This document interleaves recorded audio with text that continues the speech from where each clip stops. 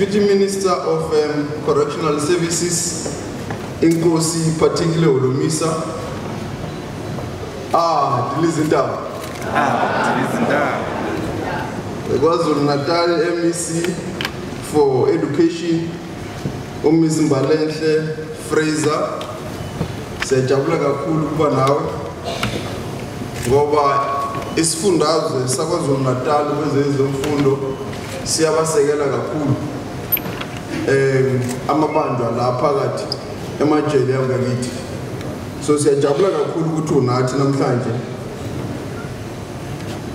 Uspika osomlomo womkhandlu wasethekwini kwabunyosi siyajabula kakhulu nawe ukuthi ukhona uzosisekela for lo msebenzi esiwenzayo. Nomkhandlu wasethekwini uyaqhubeka us- us- us- us- us- usisekele kakhulu. Kwentweni eziningi esikwenza nawo so siyajabula ukuthi nani nikhona lapha uchairperson of the house of traditional and cohesion leaders inkosi usifiso shinga siyabonga kakhulu ukuthi nawe unathi namhlanje. Ngoba la mabandla wethu baphuma emphakathini. Uma bangaphakathi siyanidinga ukuthi nisisize ukuthi siba rehabilitate noma somsebenzi wabo uphelile la phakathi. Siyanidinga ukuthi nisisize ukuthi ba reintegrate emphakathini. Ukuthi lezi mfundo esibanikeza zona la phakathi ejele baye bozisebenzise ema-communities yethu. Kwazulu natal eh, regional eh, commissioner babuncele eh lieutenant general babumkhwanazi angazi ukuthi indaba uncela kubeke emuva le. but eh, siyabonga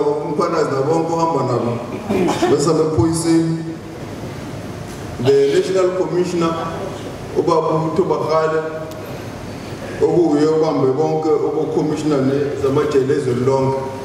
and all the regional commissioners I can see from um, Free State and the Northern Cape, Eh, Ms. Moodle, eh, uh, Tate Tokolo from eh, MLM, and Tate Mashviri, Babumtetwa in the Eastern Cape, abanye angibabonanga but suspect some they could be here. CDC, Mamulepe, who's also the program director. Bishop Dube aphinde abe endlini es- esishamthetho la eKwaZulu Natal nabanye abaphuma endlini yethu e- la in the province of KwaZulu Natal and other officials from the Department of Education and other stakeholders that I might not have uh, seen. Ngiyanibingelela nonke and we're grateful ukuthi ninathi la nizobambisana nathi to celebrate the life of the matriculants who are inmates who have chosen a life to turn their lives around ngibingelela nani nonke inmates from across the country the matriculants and all the officials of the Department of Correctional Services who are here and the gentlemen, ladies and men from the media houses in our country. Firstly, I want to join Umabunya Osa to extend my condolences to the families affected by floods at Tegwini, Negwazulu Natal yonke, and in particular in the Ladysmith, which have been hardly hit by these natural disasters. This is a sign that all of us here, we need to prepare for the future and the reality of climate change, which is becoming a reality in each and every day. I stand here before you excited and proud of the continued work of transferring skills to inmates through education by the Department of Correctional Services. The Department of Correctional Services implements a series of educational and vocational programs which are designed to empower inmates to transform their lives and enable them not to return to their previous lives of crime. Our work is geared towards ensuring that inmates, once released or placed on parole, use their acquired skills to obtain employment empower their communities, and contribute positively to society. In a nutshell, once we release you from here, in the facilities, you become the ambassador of correctional services. Your behavior outside is a mirror and reflects on us. So nani nje uma abangani benu uma baphuma nibatshele ukuthi uma niphuma you must behave wherever you are going because you are representing all of us. Ukuphuma kwenu is also dependent good that behavior yalabangani benu who when they get released some of them they commit heinous crimes. Although the percentage is small, but because of the crimes that they sometimes commit, the volume is too high.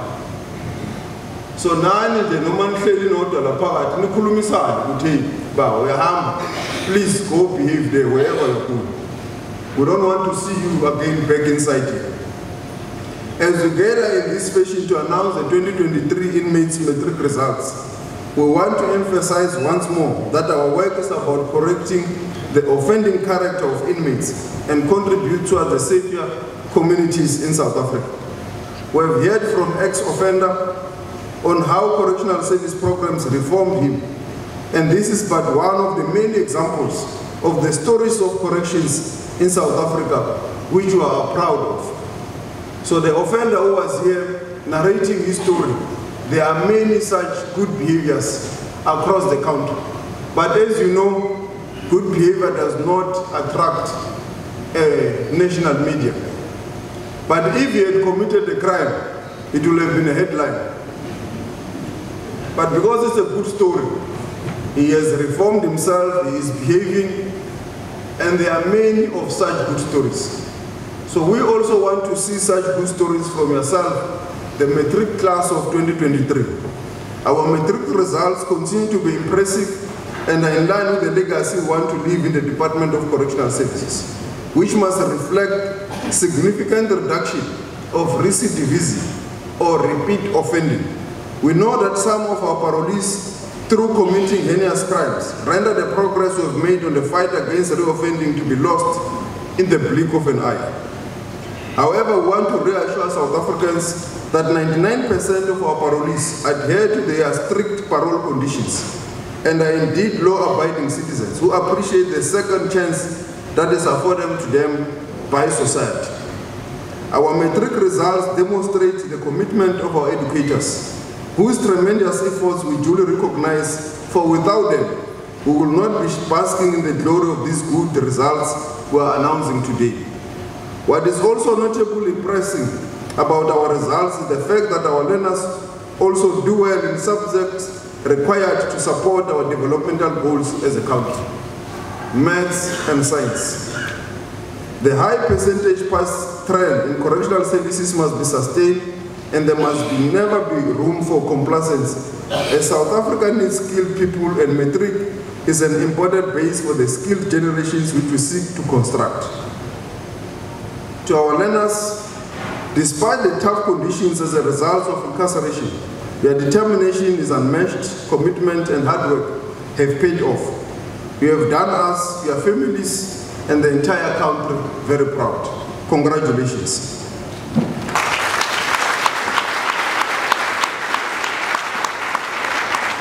We congratulate you for raising high the flag of correctional services, a welcome development. When we release you, Go out there and be good ambassadors of correctional services. Behave yourself and do not engage in activities which will bring you into conflict with the law again. This second chance, you must take it and run with it in a positive way. The awards and certificates you will receive must reconstruct your lives and be a reminder that the goals you have set yourselves are within reach.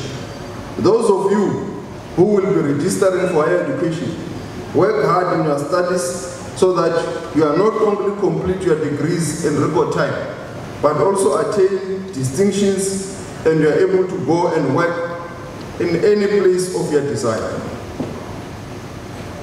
We also encourage you not only to go to universities, but already in the correctional services, we have laid a foundation for you to do vocational training like plumbing, welding, and other vocational um, qualifications. This economy will not only be built through university degrees. The technical skills that you acquire at the vocational training colleges, the economy needs them. In our country, some of the skills that we need, we can no longer find from our young South Africans because all of you, you want to wear suits, you want to be lawyers and, and, um, and doctors. As a result, we no longer have bricklayers, plumbers, electricians, basic things that the economy needs and households needs, and there is job for it. Whether you are employed or not employed, you can still do it. And you can still make money and drive the X3 that uh, uh, the offender was here for. I also want to tell the country, as I do from time to time every year when we announce the results, that we do not pay for the tuition fees of inmates at institutions of higher learning. Rather, their families and bursaries carry the cost.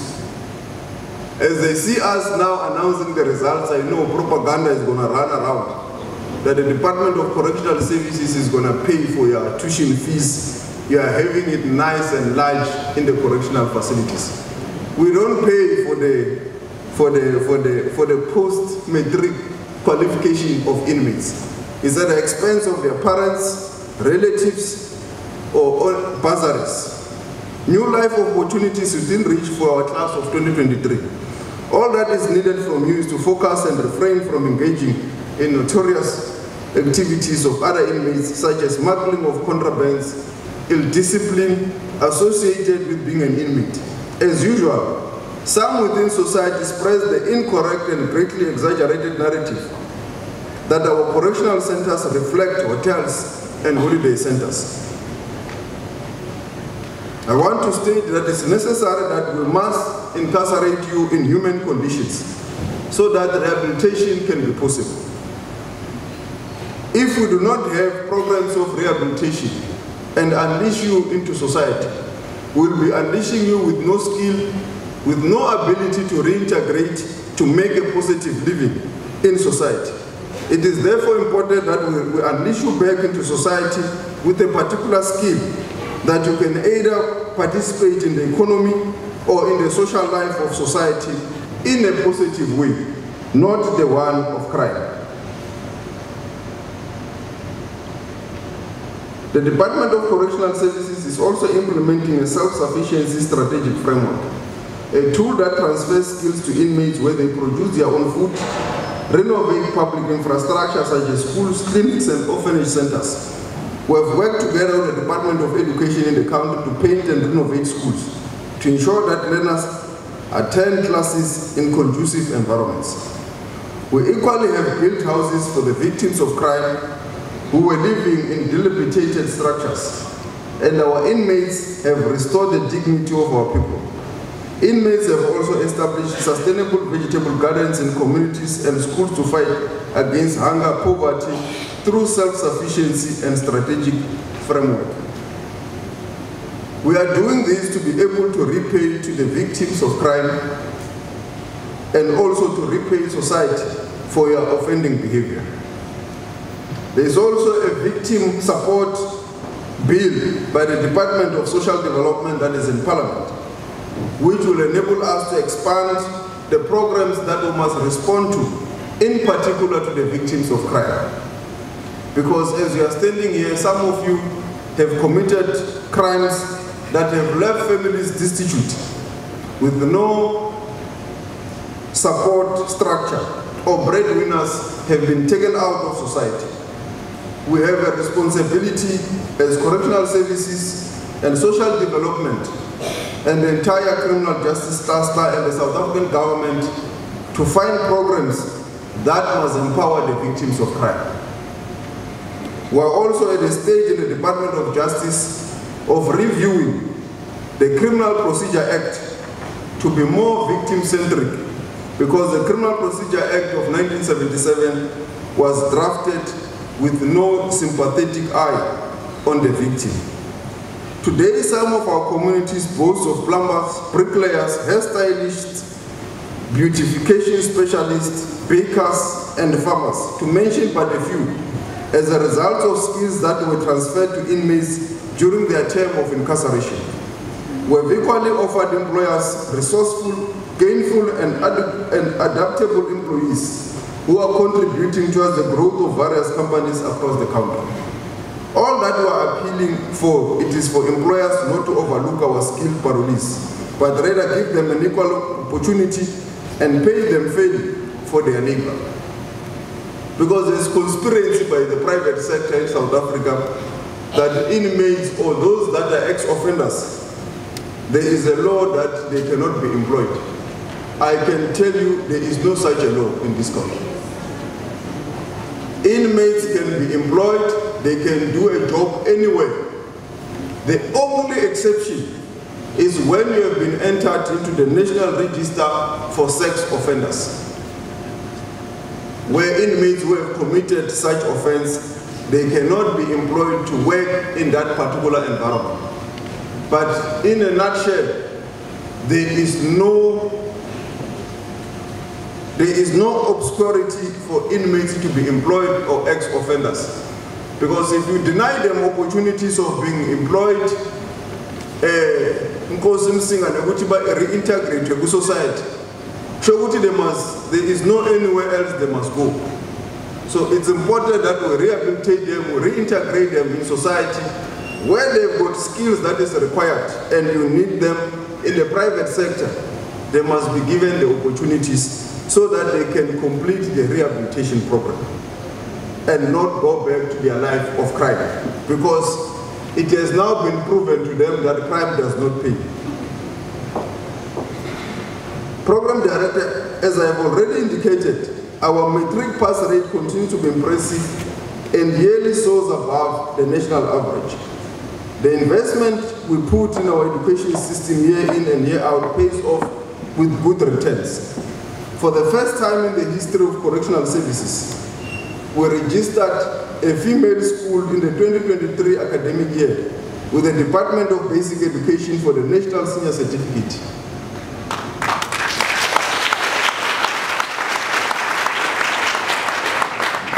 The school is at the Johannesburg management area and it achieved a pass rate of 62.5%. With 60% of the passes receiving a bachelor pass. Malibongwe. Malibongwe. We are hoping to expand these schools uh, across the country so that the female inmates they can also participate and learn and also matriculate. But please, oh mama, you should not be ashamed that we don't have a lot of schools across the country because our data shows that abaningi benu nifundile. You have matrix yilabo bhuti labaganga kakhulu abangayi esikolweni in their majority abanayo umatric laphakathi so our sisters they do have matric. And most of the crimes that our sisters have committed is economic crimes. Who also kill people and commit violent crime. So this is a life that we need to change, rehabilitate, and make South Africans see everyone differently. And it does mean that as a, as a country, MEC, we do need to have a specific focus on the boy child. And I'm happy that the President has taken that initiative. I believe in future we will see a difference, particularly at the level of crime prevention.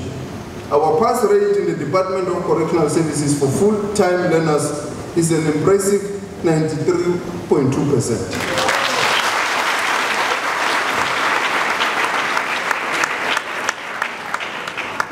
A total of 137 out of 147 full-time candidates passed their 2023 National Senior Certificate exams.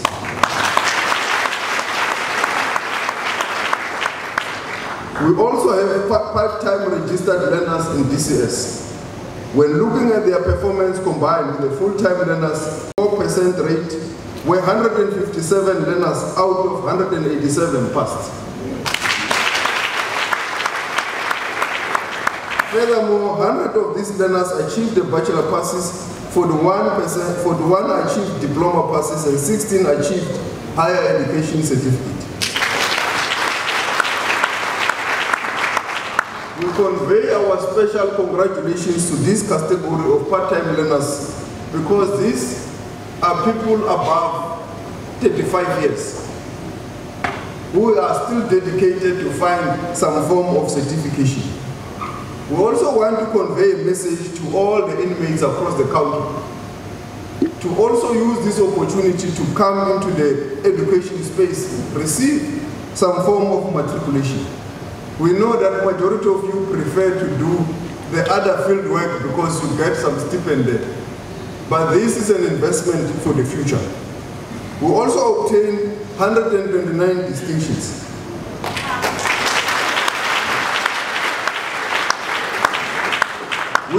With 39 in life orientation, 26 in isiZulu home language. akusho ukuthi nonke singanifundisa ngevayele ekhula nizothola ama-distinction 13 in business studies 10 in geography and 4 in mathematics literacy to mention but a few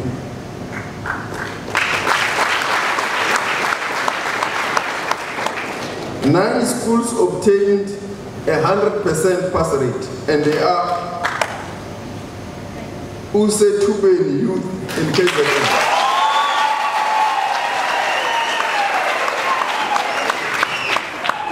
Cradock in the Eastern Cape. Tuto- Tutokizo in the Northwest. Sikebe Ngolwazi in KZN. Brandvlei Youth Center in the Western Cape. Qalakabusha in KZN. Mokamuso in Limpopo.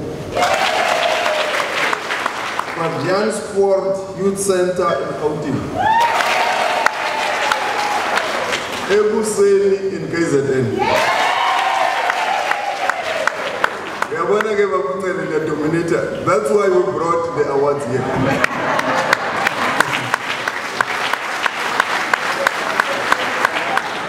It looks like KZN will host everything this year. Yon- Yonke into. Yonke into. In the Department of Correctional Services for the 2023 National Senior Certificate Examination is Ben Matthews Christopher, who obtained an average of 86.14% with six distinctions in English First Additional Language, Mathematics Literacy 86%, Life Orientation, Business Studies, Geography, and Tourism. He's from the Brandvlei Correctional Facility in the Western Cape.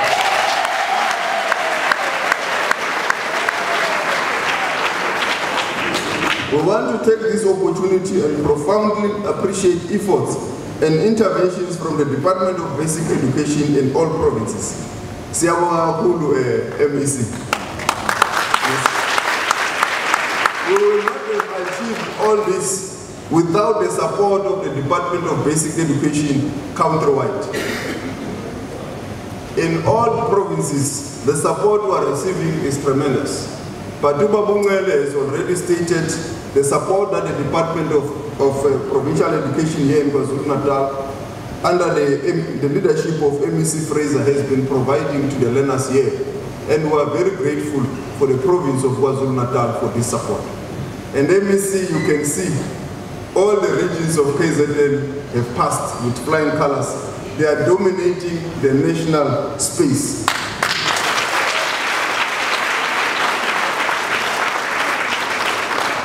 We equally extend our appreciation to all stakeholders who are too many to mention for their valuable contributions without which our efforts of rehabilitating inmates and providing them with skills will not have been realized.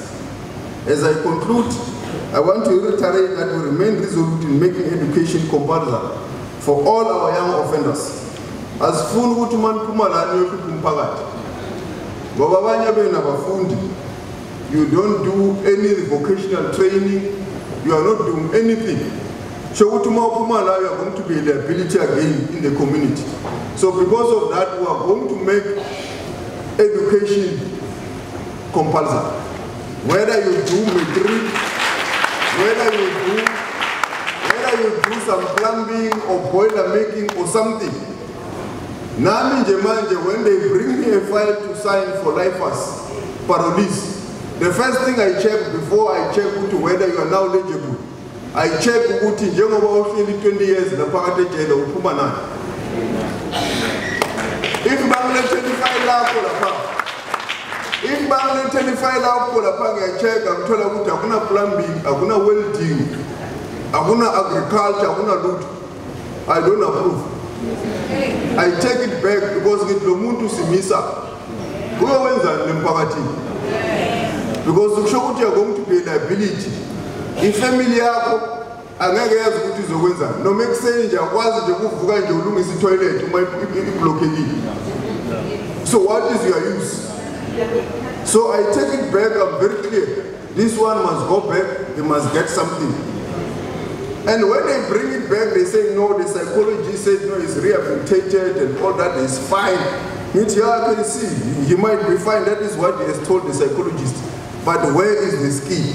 Yeah. What will be his contribution in society? So, nje uma niphuma la, awukwazi ukungena elwandle uphuma ungathambanga. Angisho nifundisana ubugebengu. So we want to change ukuthi laphakathi anifundisana ubugebengu nifundisana imisebenzi. We need to change that perception and change that culture. So that's why we've been very clear to the National Commissioner, we've given him a clear directive that everyone must do something. Even if it's just to be a plumber or a boiler maker or bricklayer, something, at least that will be of use to the community. We want you to live here with something in that regard. And this is in line with the Nelson Mandela rules, which stipulates the following. And I quote and I close with this one. Imprisonment should not be limited to the deprivation of liberty, but that it will be a time for the re-education of inmates. I thank you.